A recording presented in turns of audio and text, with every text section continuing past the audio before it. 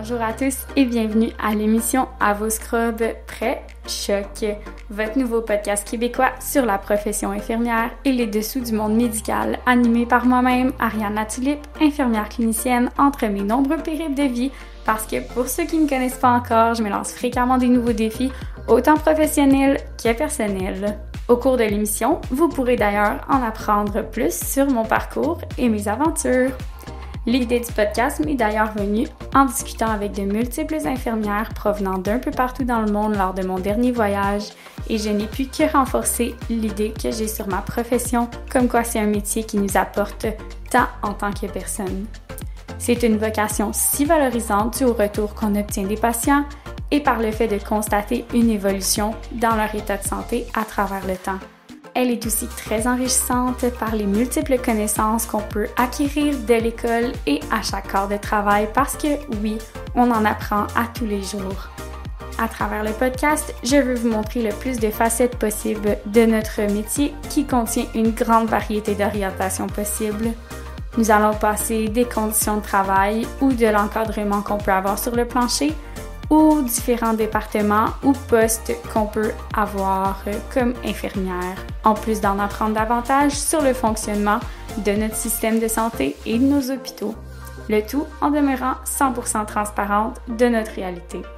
Pour tous ceux ou celles qui seraient étudiants ou étudiantes en soins infirmiers et qui ont besoin de motivation pour continuer de progresser dans leur cheminement, pour les infirmiers infirmières qui ont besoin de divertissement pour décompresser de leur corps de travail chargé, ou encore pour ceux ou celles qui veulent s'informer davantage sur nos hôpitaux et qui s'intéressent à la réalité des infirmières, ce podcast, il est fait pour vous. Aujourd'hui, pour mon tout premier podcast, je reçois Naomi Grondin, une bonne amie que j'ai rencontrée à l'université durant mon bac. Elle a récemment obtenu son droit de pratique comme infirmière suite à son examen de l'ordre le 26 septembre dernier et est donc maintenant infirmière. Avant cette date, elle pratiquait comme candidate à l'exercice de la profession infirmière, aussi appelée CEPI, en attendant d'obtenir son permis de l'ordre des infirmières dès sa sortie de l'école en mai dernier. Ensemble, nous allons discuter de la transition des bancs d'école vers la pratique dans les feux de l'action sur le plancher.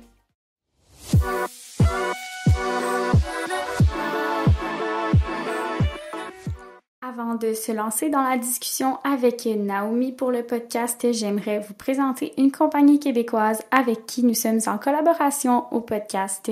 Il s'agit d'Apprenti Inf, fondé par deux magnifiques personnes, Anthony et Coralis. Les principaux produits vendus par leur compagnie sont leurs cartes mémoire, mais ils ont aussi une panoplie de matériel ou d'objets super utiles pour les infirmières sur leur boutique virtuelle apprenti.infirmier.com. Ils ont à la base créé leur propre carte mémoire pour garder à portée de main certaines informations clés lors de leur stage et ont par la suite eu l'idée de partager leur création à tous ceux qui en auraient besoin après avoir constaté comment ça leur avait été utile. Les cartes sont de petits formats et contiennent des flashs d'informations pour soutenir les infirmières, infirmiers, les étudiants et étudiantes de la profession afin de diminuer une partie de la charge mentale de tout ce qu'on doit retenir en tant qu'infirmière parce que les cartes peuvent être consultées facilement et rapidement. Elles abordent de multiples sujets variés aussi larges que précis, comme la pharmaco, les plaies, les pansements, ils en ont même des plus spécialisés pour certains départements. Avec le podcast, vous avez un rabais de 15% de disponible sur tous leurs produits avec le code promo CHOC15. N'hésitez pas à vous gâter. Si jamais d'ailleurs vous n'avez pas encore de cadeau de Noël pour un ami ou un membre de la famille qui est dans la profession, c'est certainement quelque chose qui sera bien apprécié et qui plaira à tous. Sur ce, bonne écoute du podcast.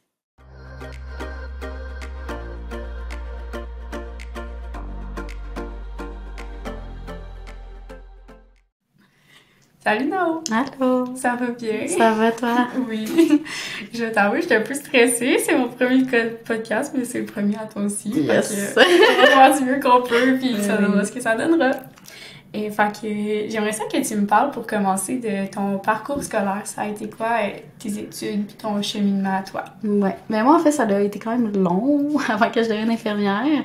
Avant, je voulais vraiment pas faire ça parce que ma mère était infirmière, fait qu'il était pas question que je fasse ça. OK. Puis euh, après ça, ben, justement, j'étais allée, euh, je viens de Montréal, j'étais allée à Rimouski en biomarine. Là, finalement, il me manquait plus de côté santé. Là, j'ai fait un certificat en toxico pour finalement faire comme, ah non, ça m'intéresse vraiment. Puis je le regrette vraiment pas, là. Fait qu'après, allée faire mon bac à Sherbrooke. OK. Fait que t'as fait le bac initial, t'as pas passé par le cégep. Ouais, non. J'ai fait euh, un petit, euh, c'est quoi ça? C'est quoi, c'est chef le deck? Euh, Un tremplin deck? non, mais Euh, j'ai oublié le nom. le Sciences Humaines? Oui, Sciences Science, Nat? Science. Nat. Pour pouvoir rentrer à l'Uni. Ouais. OK.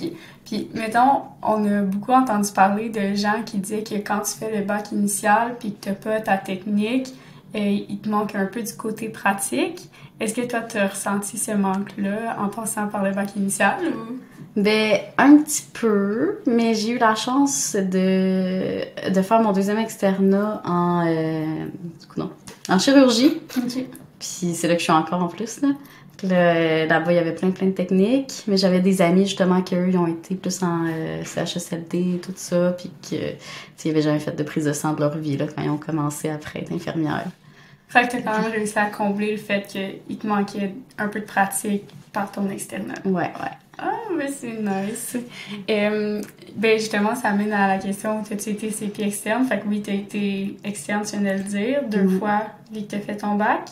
Ouais, ouais. Puis t'as-tu été CP aussi? Oui. Ben là, j'ai commencé mon externat en onco, après ça en chirurgie, pour combler euh, notre euh, non-stage de chirurgie avec la COVID. Ouais. Puis après ça, j'ai continué mon CP à la même place, là, en chez Rabdo à Maisonneuve.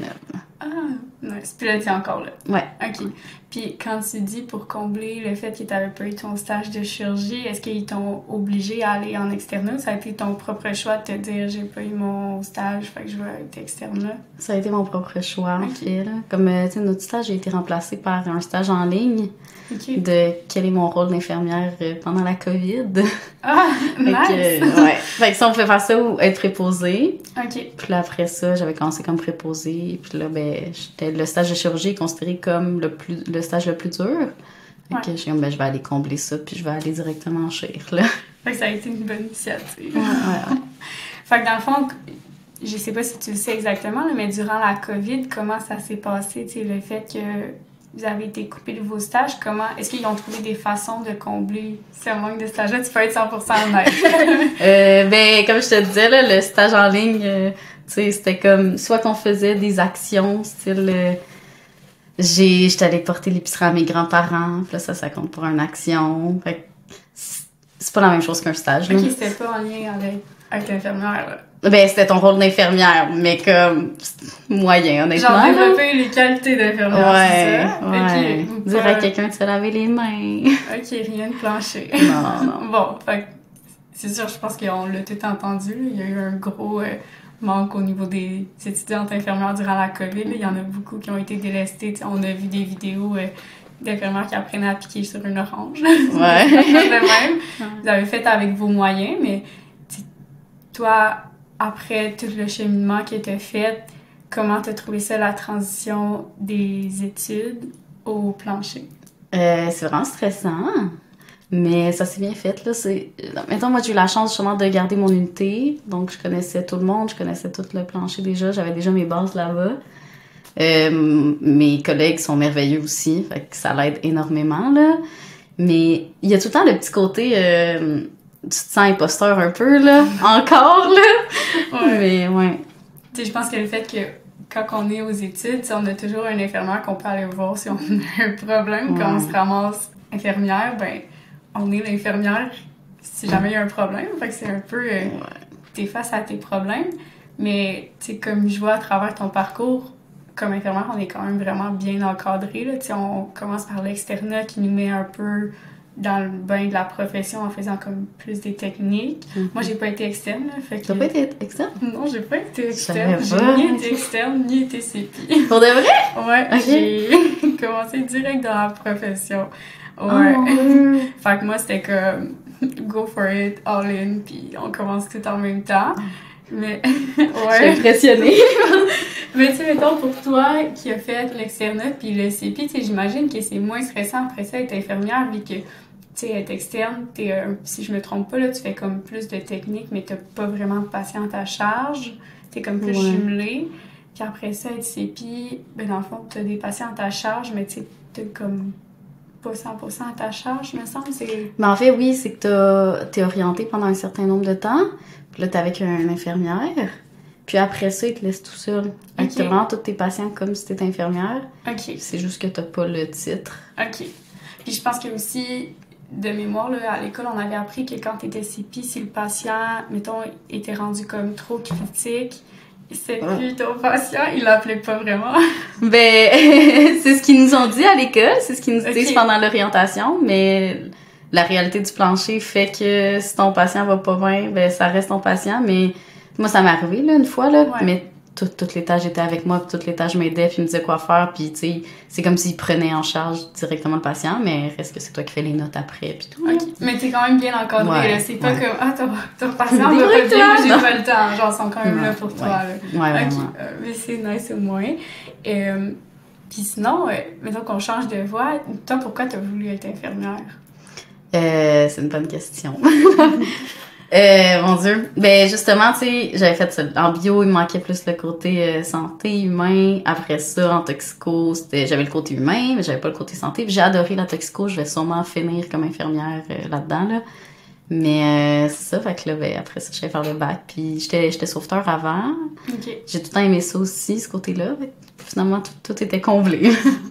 Puis, est-ce que justement d'avoir été pendant la pandémie, ça t'a découragé, encouragé? Est-ce que tu as vu le manque de personnel, fait que tu t'es dit j'y vais à fond ou t'as fait comme wow? Mais honnêtement, je le réalisais pas tant que ça. Jusqu'à, admettons, là, maintenant que je suis réellement infirmière. Tu sais, maintenant que je peux faire des TSO, je le réalise un peu plus aussi. Ouais. Que, ouais. Mais sinon, avant, mais ça, ça me décourage pas particulièrement, là. C'est sûr, c'est difficile. Ouais. On court plus, tout ça, mais je sais pas. J'aime, je suis encore au moment que j'aime encore ça, puis que ça, ça me dérange pas. Fait que le COVID, ça a pas vraiment affecté euh, Non, pas, ta pas pour pour, être infirmière. Non, ouais. Si je veux dire, pour être infirmière, euh, faut aimer ça. là. On a quand même des conditions difficiles, mais on, on tient à cœur notre profession, fait qu'on on va toujours de l'avant. Ouais. Ben, faut qu'on aime ça, parce que sinon. Quand on se Ah, rend ouais. 16 heures, là, c'est long, longtemps. C'est quoi les différences majeures entre être étudiante infirmière avec une prof de stage, puis avoir des patients euh, que tu prends soin, puis être infirmière plancher, avoir ton équipe à toi? Euh, ben, c'est sûr que quand, mettons, t'es en stage, t'es tout le temps encadré. T'as beaucoup plus d'encadrement, puis t'as... Mettons, faut que tu suives une façon de faire, mais pas la tienne, que tu développes par la suite plus, comme ton, ton organisation de la journée, puis tout ça, là. Puis quand t'as des questions, ben, t'as tout le temps de personnes avec toi de toute façon, que tu veux poser toutes les questions que tu veux. Puis il y a tout le temps quelqu'un ben, derrière toi qui surveille s'il y a quoi que ce soit, là. Parce que pas, est en apprentissage quand t'en- quand il y a un précepteur, là. Puis après ça, tout seul, ben, c'est ça, comme je disais tantôt, si t'as l'équipe quand même qui est là, si t'as des questions, mais parfois aussi, on rush, là. Fait qu'il faut que tu te débrouilles, que tu utilises justement les, ben, ce qu'on t'a donné comme ressources pour trouver euh, la réponse à tes questions, là. Puis reste que toute la responsabilité est sur toi, et que ça rajoute un stress de plus. Même si, tu sais, je trouve que, mettons, si je suis confiante puis je sais que je fais une bonne job, reste qu'il y a plus personne derrière moi après, là. C'est comme moi, puis c'est tout. Fait c'est ça. Il y a une question que ça me tentait de te poser. Merci. Euh, parce que, tu sais, je veux dire, être infirmière, on, on fait peut-être des erreurs. Ouais. Puis, tu sais, je veux dire, quand on est en stage, si on est pour faire une grosse erreur, on a toujours un prof. Fait que, tu sais, il nous laisse réfléchir, mais si on est trop proche de l'action, il nous le dit, c'est sécuritaire. Euh, quand on est tout seul, tu sais, je veux dire, on fait plus attention, on se vérifie plus, on a plus de jugement. Mais je pense qu'on a tous déjà fait, genre, pas, pas une erreur majeure, parce que, je veux dire, c'est rendu grave quand ça arrive.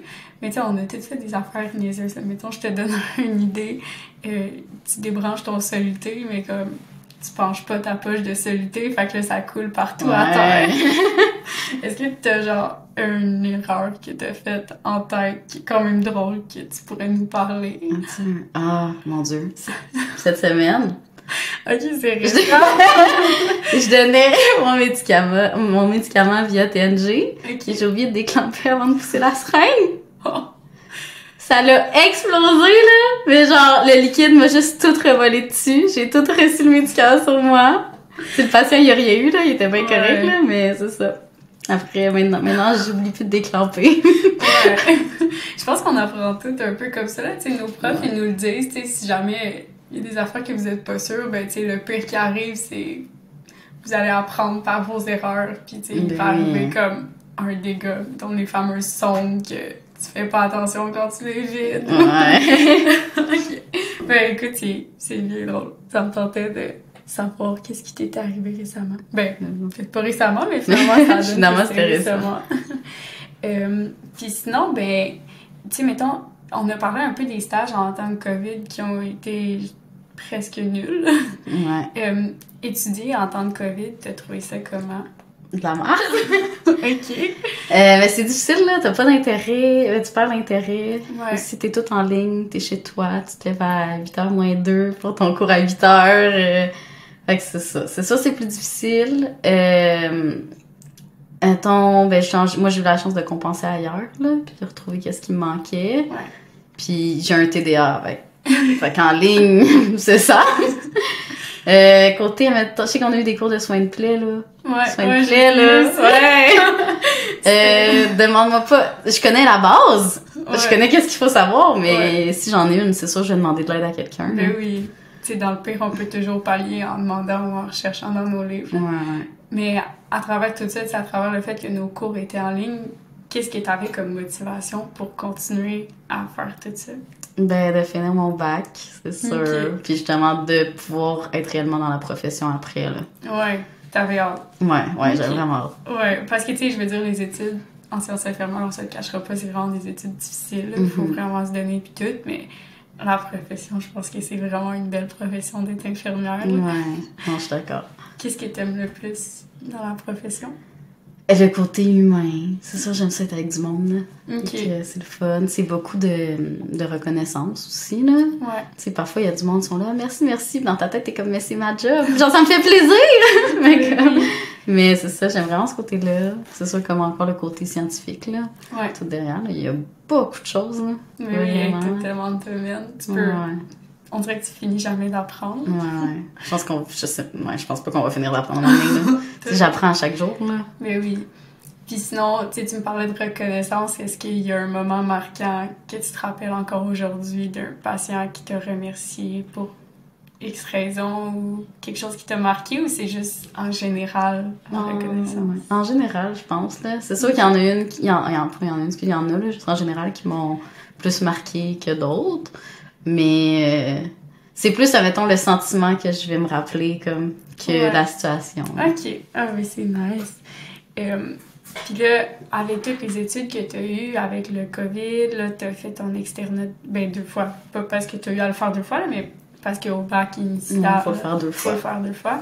Tu as été CPI, là, tu es infirmière. Est-ce que tu te sens solide comme infirmière? Euh, honnêtement, j'ai totalement confiance en mes capacités et tout. Mais c'est, c'est sûr que je suis vraiment, ben, je suis plus lente qu'eux, que ça fait 20 ans que je travaille là. J'ai plus de remises en question. Fait que ça prend, il faut plus que je pense, là, puis tout ça. Mais, ouais. Je Mais- suis, ouais.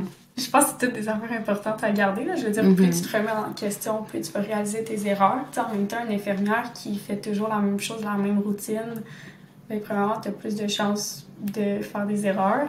Deuxièmement, ben, justement, tu comme pas la remise en question. Tu sais, est-ce que la technique, elle a changé? Est-ce que je fais mes choses Ouais. correctement? Fait que, des fois, il y a comme des avantages à être nouvelle infirmière versus infirmière que ça fait longtemps qu'elle travaille. Mm. Mais c'est le fun de voir que tu es solide malgré tout. Tu as confiance en toi. Puis c'est beau à voir.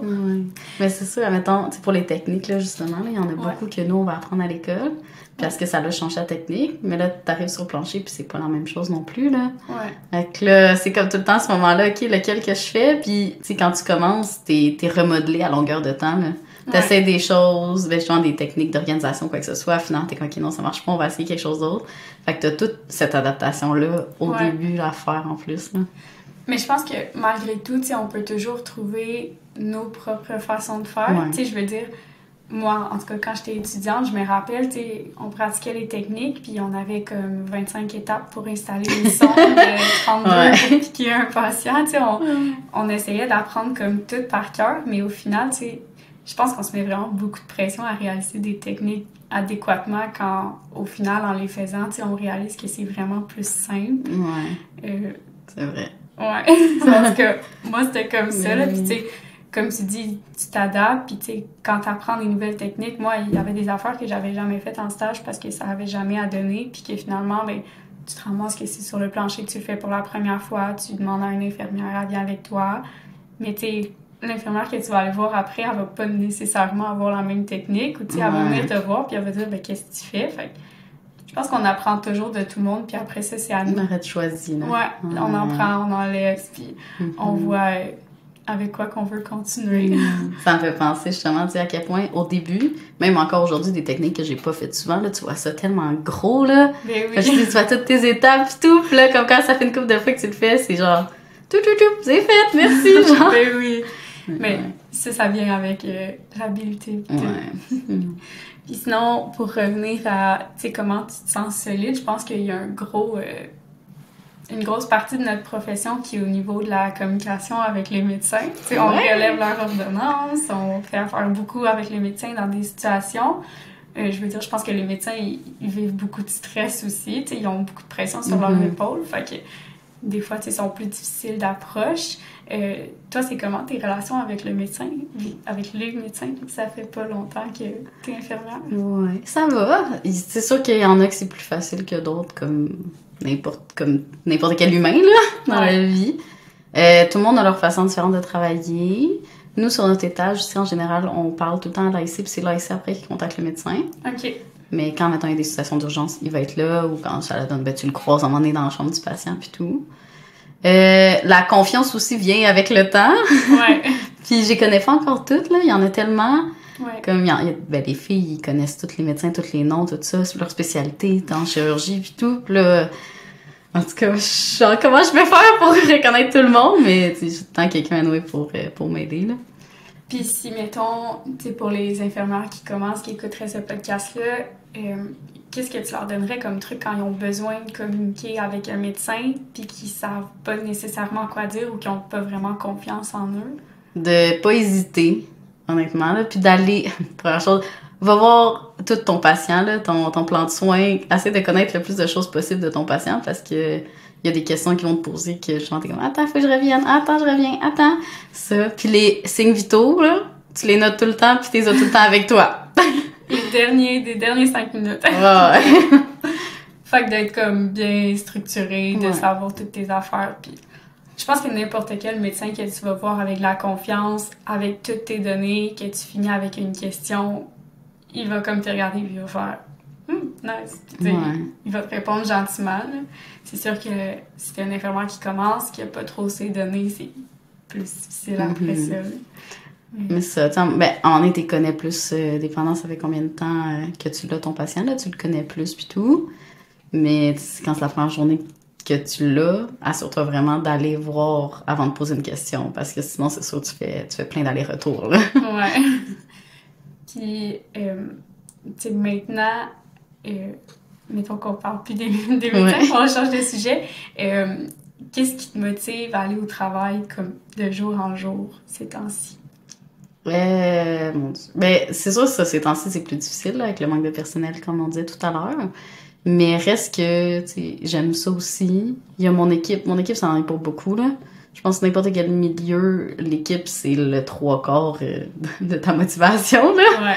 Mais, ouais, c'est sûr que, ouais, avec l'équipe, j'aime ça quand même. Fait que, Puis, tu sais, on a un milieu difficile, mais on est comme toujours soutenu. Fait qu'on Ouais. dirait que c'est le fun, c'est quand tu sais que tu vas aller au travail, puis que tu vas être avec des collègues, puis tout le monde est un peu dans le même bateau. là. mhm, ben oui. Tu sais, si je peux faire euh, un pont rapidement à mon voyage que j'ai fait Oui. dernièrement, parce que j'ai été en Thaïlande puis à Bali. Euh, malheureusement, j'ai vécu les hôpitaux à Bali aussi parce que j'ai dû être hospitalisée. Mais ça m'a permis de parler à des infirmières euh, Mhm. en Indonésie aussi. Euh, puis, tu sais, je dirais que c'est un peu la même chose pour eux. Là. On est toutes dans des conditions extrêmement difficiles. Euh, on n'a pas nécessairement des salaires pour le travail qu'on fait. Euh, on, on, a les temps supplémentaires obligatoires. Et là-bas, je leur ai demandé s'il y en avait. Ils m'ont dit non, mais si la prochaine infirmière rentre pas, tu restes. Ah, c'est pas la même chose. c'est vraiment la même ah, chose.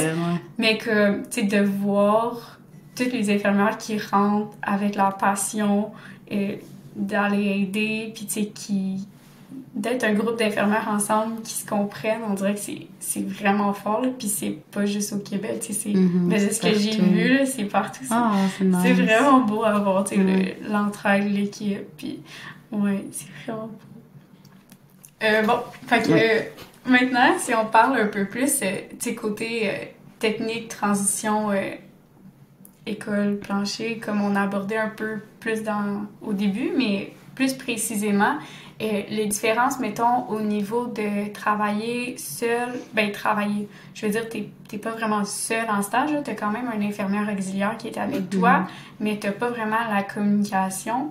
Euh, tu sais, quand, quand t'es en stage, justement, tu te ramasses jamais en diade, et euh, puis d'arriver sur le plancher, puis de devoir travailler en diade avec un infirmière auxiliaire, euh, ça a été comment pour toi? c'est quelque chose. mais nous, comme aussi au début, là, quand on était orienté comme CP, qu'on était encore avec quelqu'un, ils nous ont mis avec une auxiliaire pour qu'on ait une idée de c'est quoi, pour pas qu'on se ramasse du jour au lendemain comme tiens, tu passes de 6 à 9 patients, have fun! Non. au moins, tu sais, j'ai eu cette petite chance-là. C'est beaucoup d'adaptation, surtout quand tu connais aucun de tes patients. C'est, il faut tout faut tout que tu saches chez qui. Puis là, tu travailles avec quelqu'un aussi. La communication, elle est, c'est la clé, là. Moi, je suis beaucoup quelqu'un qui communique, qui dit tout, tout, tout. Puis il y en a que, ils sont plus, ben, maintenant, ils font plus leur affaire de leur côté. Fait que là, tu capotes un peu plus. Fait que, en tout cas, tu t'adaptes, tu t'adaptes avec la personne. Fait que c'est de l'adaptation tout le temps. Ben, c'est comme un peu quand, quand t'es externe. Tu te fais mettre avec des infirmières tout le temps, puis c'est souvent pas les mêmes. Fait qu'à chaque fois, c'est, on repart à zéro. OK, toi, tu travailles comment? OK, je m'adapte à toi. Ouais. Avec ça. Fait que là, ben, quand t'as un, un auxiliaire, justement, c'est, c'est ça. Là, c'est un peu, tu mets un peu des deux, puis tu, tu réussis à faire de quoi avec ça.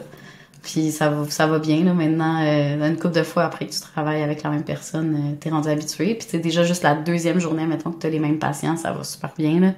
C'est, ouais. Puis est-ce que ça a été difficile pour toi de comme séparer les tâches dans ta tête de ce que toi tu devais faire puis ce que l'auxiliaire devait faire? Parce que je me rappelle moi aux études, c'est comme tu faisais tout puis au pire elle en passait derrière si t'avais pas le temps de faire quelque chose, mais t'avais pas vraiment de séparation des tâches, tandis que dans la vie réelle, les deux vous êtes en équipe, là, fait qu'il faut séparer les tâches. Mais dans mon équipe, là, ils sont vraiment, ils ont beaucoup, beaucoup d'ancienneté aussi. Fait que les premières fois, c'est plus eux qui me disaient comme comment comment qu'on sépare ça puis eux c'est plus quoi leur rôle puis tout. C'est sûr qu'il y a des fois je suis comme hey tu sais est-ce que ça tu peux ou tu peux pas déjà genre? Fait que je leur demande pour être sûre euh, là on dirait que j'ai un blanc sur la question mais euh, c'était quoi la euh, mais là, le fait de travailler comme en stage, t'es tout seul, tu fais tout sur ton patient, puis dans la vraie vie, il faut que tu sépares les tâches. Ouais, euh, oui, l'adaptation. Puis... Mais euh, mais c'est pas mal ça, en fait. C'est comme eux qui m'ont plus euh, dry de comment faire puis tout. Ça a fini souvent qu'ils font, tu sais, ils font vraiment plus de techniques que moi, mais qui, ont, qui peuvent faire tout. Puis moi, je m'occupe plus, mettons, les prescriptions, tout ça. Puis comme je disais, j'ai besoin de beaucoup de, de, structure puis de communication. Fait que là, c'est comme un petit, OK, là, il se passe quoi? OK, là, toi, tu fais ça, moi, je vais faire ça, parfait. Mais t'as tout le temps le côté en tête qu'il faut que tu saches tout quand même qu'est-ce qui se passe, puis tel patient qu'est-ce qu'il y a, puis comment ça va. Fait que, fait que ouais, c'est ça. ouais, mais t'es toujours un peu encadré, puis souvent ils savent comment ça fonctionne. Ben ça fait 30 ans qu'ils sont là, là. Ils vont me le dire comment travailler. Puis pour ceux qui ne savent pas, mettons, euh, c'est quoi la différence entre une infirmière et une infirmière auxiliaire? Comment tu décrirais? Ben c'est ouais, c'est pas la ben, c'est pas le même parcours scolaire là, infirmière auxiliaire, c'est un DEP si je me trompe pas. Je crois que oui. Non, c'est ça, je m'excuse. si on a pas d'autres auxiliaires qui nous écouteraient. Euh, c'est ça. Ouais. Mais ouais, puis en plus le côté ben je trouve qu'ils ont ils sont bons en technique là en général, là, ils ont beaucoup de côté technique puis tout ça. Puis l'infirmière en fait à la base, c'est elle qui fait ben, l'évaluation en général aussi de tout. Puis, euh, ben là, c'est un déco, un bac, là. Fait que c'est côté scolaire et, ce qu'on a le droit de faire, qu'est-ce qu'on n'a pas le droit de faire. Ouais, mais c'est ça. Fait que c'est vraiment comme un auxiliaire, ça fait plus les techniques. Mm-hmm. Puis je pense que des fois, ils peuvent pas nécessairement faire de l'évaluation, mais ils peuvent constater des, ils peuvent constater des choses en faisant une technique. Puis après ça, ben, nous, les infirmières, on vient faire plus une évaluation complète de ça. Mhm. Puis on voit où on Ouais. va avec, où Ben. on va avec ça. Ouais. ça a rendu, ça. Mais ouais. Ouais, non. Fait comme, oui, il y a- mettons, quand il y a une douleur, mais qui est connue aussi, là, ils vont l'évaluer, ils nous disent, enfin, tu sais, elle est connue déjà. Quand c'est des nouvelles choses, là, ça va être à nous d'aller l'évaluer, mais ils font, ils font, je sais pas, ils sont intelligents, là. Ils, ont- ils font des constats, puis c'est comme, ça revient un peu, tu sais, même moi, mettons, s'il y a quelque chose de nouveau, là, je vais aller le dire à mon auxiliaire, là, ça reste la communication entre les deux. Ouais. C'est sûr que, mettons, c'est nous qui font l'évaluation légalement, puis tout, mais c'est ça, c'est un travail d'équipe. Mais oui, c'est tellement le fun de travailler avec des experts quand ça fait longtemps qu'ils font ça. Ils sont tellement sweet. Puis, moi, ça me faisait peur au début. J'étais comme, OK, là, je passe de tout faire par moi-même à devoir splitter avec une personne, puis qu'elle me dise des choses. Mais à un moment donné, tu apprends juste à faire confiance, puis tu le sais, s'il y a quelque chose, elle va venir te voir. Fait que Mhm. ça fait peur au début, mais je pense qu'on on s'adapte quand, Ouais. quand même assez rapidement. Euh, Puis sinon, une autre différence que je voulais aborder avec toi, euh, en stage, c'est quoi le maximum de patients que tu as eu? Euh, en toi. stage, eh, mais mon stage final, je, je me suis ramassée avec une charge complète de patients. Mais là, ça, À ça compte l'urgence. pas. Mais je m'attendais pas à Bon, mettons qu'on va, ça. mettons qu'on va dans la réalité. Je veux dire, c'était en temps de COVID ou qu'est-ce qui s'est passé juste pour aies une charge complète de patients? Euh, ben en fait, c'était à l'urgence. L'urgence, ça m'intéressait. Ouais. Fait que mon moniteur était comme, ben, ça t'intéresse? Go, on va y aller all-in. Fait que c'est ça. C'est stressant au début, là, mais ça le fait, puis tu sais, t'as tout le temps la personne aussi derrière toi. Euh, mais sinon, en dehors de ça, tu sais, au début, tu commences avec un patient. Un Ouais. patient, tu capotes ta vie. T'es stressé à aller faire des signes vitaux. T'as 7 heures pour tout faire, puis tu rentres même pas dans ton temps. Ouais. Ouais. Oh, mon Dieu. Des beaux souvenirs. Ouais, hey, c'est fou comment on évolue hein, quand tu y penses du jour 1 de nos études comme à la fin. Là. Mhm. Mais tu sais, même là, mettons, si je pense, je pense que dans mes derniers stages, ben en fait au cégep, c'est sûr qu'à l'université, après ça, moi j'étais déjà infirmière, que j'avais fait mon cégep. Mais euh, mon dernier stage de cégep, je pense que j'avais trois patients, pas plus. Ouais. On tombe plancher, on a quoi, mettons, euh, si on travaille tout seul, parce que C'est différent, là, si on Ouais. travaille seul avec un auxiliaire. là. Ouais. Je sais pas si ça les gens ils le savent, mais tu sais, Mm. dans les hôpitaux, mettons, il y a comme deux modes de travail souvent, là, en diade, fait qu'avec un infirmière auxiliaire, ou, euh, ben je sais pas comment vous appelez ça, c'est appelé différemment Solo. partout, mais ouais, mettons qu'on dit solo, ça c'est comme, t'es toi-même, puis t'as les patients en intégrale Mhm. à ta charge. Quand que tu les as toutes à ta charge, on en a quoi? Ça dépend des unités, en fait. Ouais. C'est même en chirurgie, là, dépendant de quelle unité que t'es, en chirurgie, ça va dépendre le nombre de patients, ça dépend des cas, ça dépend de tes chiffres de jour, soir, nuit aussi. Nuit, ils sont, ils en ont tout le temps full. J'ai jamais travaillé de nuit, là. Moi- Je, je suis impressionnée par les gens qui travaillent de nuit. Mais, euh, ouais. Mais tu sais, ça tourne autour de combien, mettons. Et ça, monte- et ça fait longtemps que j'ai pas été sur le plancher. Avant, j'étais. Ben, avant que j'arrête puis que je voyage, j'étais en salle d'accouchement. Fait que rendu là, c'était Ah, comme ouais, c'est du pas 1 pour pareil, 1, hein. du 2 pour 1. Fait que c'est loin dans ma tête. Mais Mais tu sais, sur les C'est étages, du 5. Ah, mais attends. entre 5 puis 7, Sept, 8, ouais. genre. En Tout plan de seul, santé, ouais. genre. 8, c'est un peu beaucoup, Ouais. là. Fait que tu sais, entre 5 puis 7 patients, mais ça reste qu'il y a une grosse différence entre 3 patients en stage final Ouais. puis 7 patients. Comment t'as Mm. géré le fait de faire un aussi gros bond? Euh, c'est stressant. C'est vraiment stressant. Puis c'est surtout, mettons, plus t'avances, au début, c'était en l'orientation, là. Puis le but, c'est qu'à la fin de l'orientation, t'ailles la charge complète des patients. Fait que plus t'avances là-dedans, plus on tu te fais dire, OK, tu t'as couru toute la journée. OK, demain, tu montes d'un patient. Comme, ouais! Mais en plus, j'en parlais il y a pas longtemps avec ma meilleure amie. Puis là, j'étais comme, ah, tu sais, aujourd'hui, genre, en tout cas, j'ai dû prendre un patient de plus que d'habitude, puis tout. Puis là, était comme, ça me fait rire parce que là, tu me racontes ça, puis tout s'est super bien passé. Puis elle dit, je me rappelle, il y a comme un mois, là, t'étais en panique parce que là, tu montais à quatre patients, là. J'étais comme, wow, c'est fou comment, justement, on évolue, on évolue tellement rapidement. Oui, oui. Puis tout le monde, tu sais, tout le monde qui s'engage là-dedans est capable.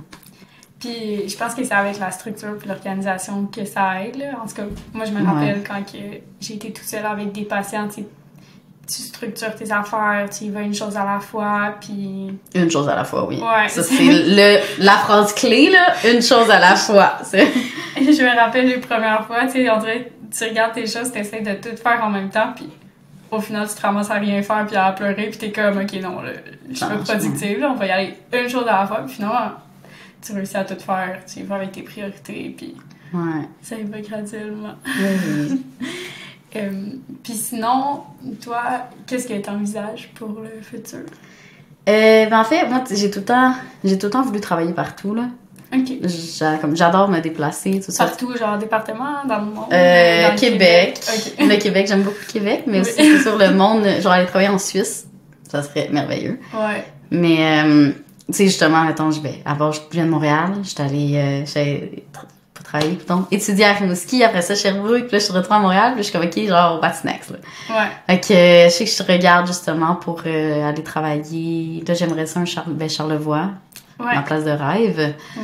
J'irais peut-être un six mois, même, plus que les autres. Il y a Tadoussac qui m'intéresse, euh, Sept-Îles, puis Sept-Îles, ils ont quand même des bons contrats, là, vu que c'est comme dans la Côte-Nord, région éloignée. Ouais. Puis tu peux quand même travailler à l'hôpital en même temps, ben en, en fait, entre-temps, là. Euh, aux îles de la Madeleine, les fameuses îles de la Madeleine. Ça, c'est, ça serait Ouais. aussi vraiment nice, là.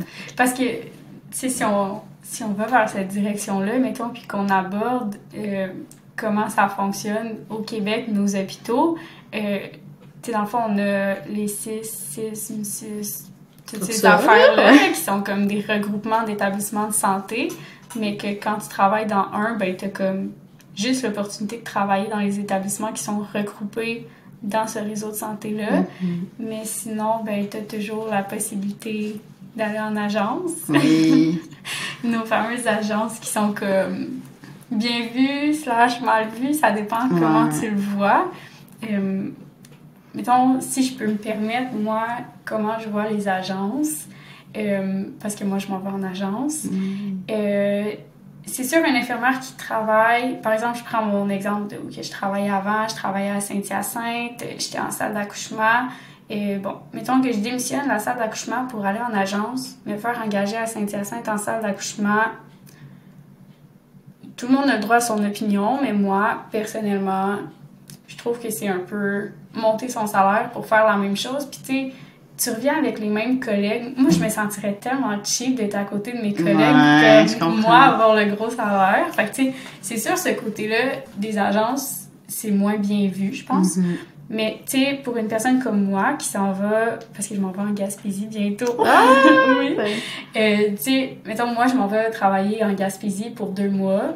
euh, parce que je suis dans une période que je fais rien. Puis vu que je suis en agence, ben, ça me donne la possibilité d'aller aider dans des régions éloignées un peu partout.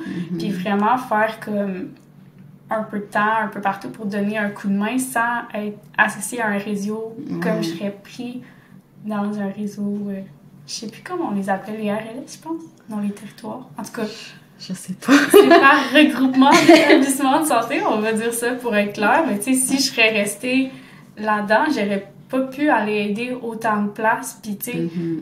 j'aurais juste démissionné puis pas travaillé pendant un an, ce que je trouverais ridicule parce qu'il manque des infirmières partout. Fait que là, maintenant, en étant en agence, ben dès que j'ai un, deux, trois mois de libre, ben je m'en vais faire des contrats un peu partout puis je peux Ouais. aider partout. Fait ça, c'est vraiment nice, des agences. Fait que- Mais ça, j'irais juste en agence pour travailler ailleurs, comme travailler en région éloignée.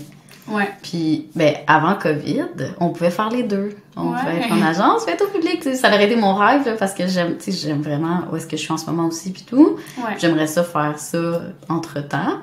Mais, mais c'est ça. Faut faire des décisions. Ça va être à suivre. Oui. on va voir. Parce qu'en fait, pour ceux qui ne le savent pas, le gouvernement, pour l'instant, a une loi jusqu'en 31 décembre. Oui, c'est renouvelé Le- jusqu'au 31 décembre que si tu fais le changement du public au privé, t'es trois mois sans travailler. Mhm. Ok, c'est à quoi j'ai dû faire face, mais le pourquoi j'ai été être infirmière en Thaïlande, puis que j'ai été à Bali. T'es parti combien de temps déjà? Et je suis partie, ben en fait, j'étais censée partir 50 jours, mais j'ai été hospitalisée. Fait que je suis partie 54 jours, finalement. Mais ouais, là-dedans, il y a eu euh, deux semaines et demie que je travaillais. Euh, Ben, je travaillais. En fait, c'était du bénévolat, de l'observation, puis d'aider les infirmières Euh, j'ai été dans deux hôpitaux différents. Puis euh, j'ai pu travailler avec toutes les équipes. J'ai vu des choses tellement belles comme de d'autres pays qu'on voit pas vraiment ici, comme comment les gens sont positifs, comment ils sourient toujours malgré quand c'est difficile. En vrai, ça m'a comme redonné un, un regain de voir la profession infirmière, euh, comment elle est magnifique. Là. Mhm, Ça va être malade, là. Mais ouais, fait que, tu sais, je veux dire, le gouvernement fait ça parce qu'il veut garder des infirmières au public. Euh, si je reviens au premier côté que je parlais, ben c'est sûr, ça empêche les infirmières de quitter pour travailler à la même place, mais c'est pour quelqu'un comme moi qui voulait juste aller aider dans les autres places, ou Ouais. quelqu'un comme toi, c'est sûr que c'est un peu plus poche, mais bon, on Mhm. fait avec, puis on trouve des moyens de combler ce temps-là, comme j'ai fait. Ouais. Ça serait le fun, comme qu'ils mettent, euh, justement, à l'école, qu'on ait le choix de faire un stage, comme en région éloignée. Juste pour, justement, le monde, mettons, tu sais, comme moi qui ai jamais fait ça, je je veux savoir c'est quoi. Ouais. Fait que là, comme, ah, ça aurait été, ça aurait été malade. Ben oui. On lance ça dans les airs. si jamais il y a une université qui nous entend, une ouverture de stage en région éloignée. Mais toi, est-ce que tu veux comme aller travailler dans un établissement de santé euh, puis faire des soins comme tu ferais ici, mais dans des régions éloignées, ou tu veux vraiment faire région éloignée, éloignée, puis tout faire les soins? Euh, ben, c'est sûr, mettons, ben, j'aimerais ça travailler à l'urgence aussi à un moment donné. OK. Fait euh, y a ça en région éloignée, ça doit être, en- ça doit être malade, là, en plus. Puis t'as Ouais. tellement plus d'autonomie. Ouais. aller dans le nord qui me parle aussi de temps en temps. Puis aller dans le nord, c'est. Justement, t'es super autonome. Tu sais, il y a Ouais. des places là que tu pars en. en, en mot, en hélicoptère Ouais. pour aller chercher les patients. Tu sais, c'est toi qui fais tout, tout, tout.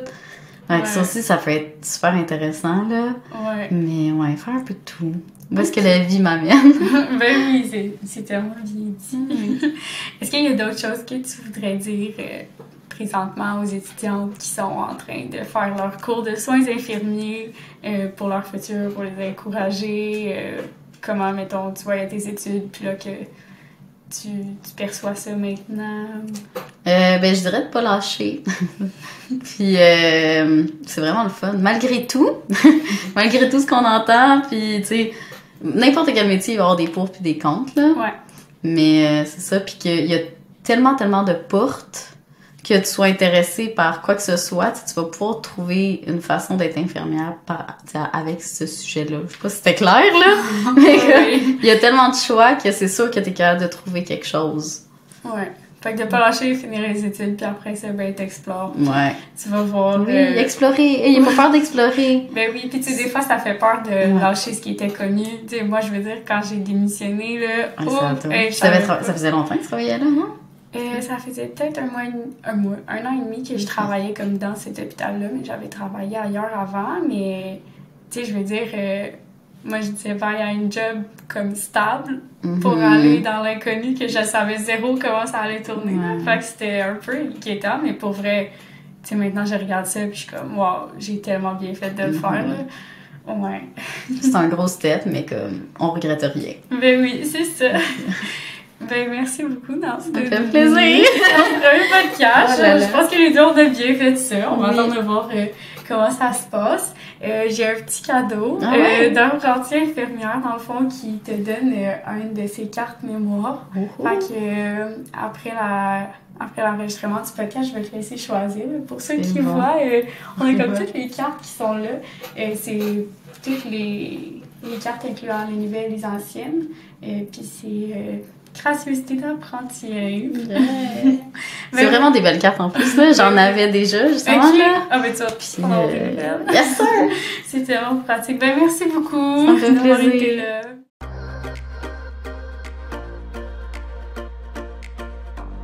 C'est ce qui conclut l'épisode sur la transition des bancs d'école vers le plancher avec Naomi qui a finalement choisi de repartir avec son aide-mémoire d'apprenti inf sur l'évaluation et les différents types de plaies. Si, comme elle, vous voulez un outil aide-mémoire de format pratique à avoir avec soi de Apprenti Inf, je vous rappelle qu'avec le code CHOC15, vous pourrez avoir un 15% de rabais sur toute leur boutique. J'espère que ce premier podcast sur la profession infirmière et notre système de santé au Québec vous a plu. Afin de m'encourager et de me soutenir, n'oubliez pas de vous abonner au podcast sur votre plateforme d'écoute. à la page Instagram et à la chaîne YouTube du podcast. Vous pouvez toujours partager l'épisode et laisser des commentaires. C'est toujours apprécié. Vous pouvez même me proposer des sujets que vous aimeriez que j'aborde ou me laisser un message si vous pensez que votre participation au podcast pourrait apporter un plus à l'émission. Sur ce, on se donne rendez-vous mardi prochain pour la diffusion du deuxième podcast qui abordera l'encadrement des infirmières à travers leur cheminement avec une infirmière clinicienne en soutien à la pratique clinique. À la semaine prochaine!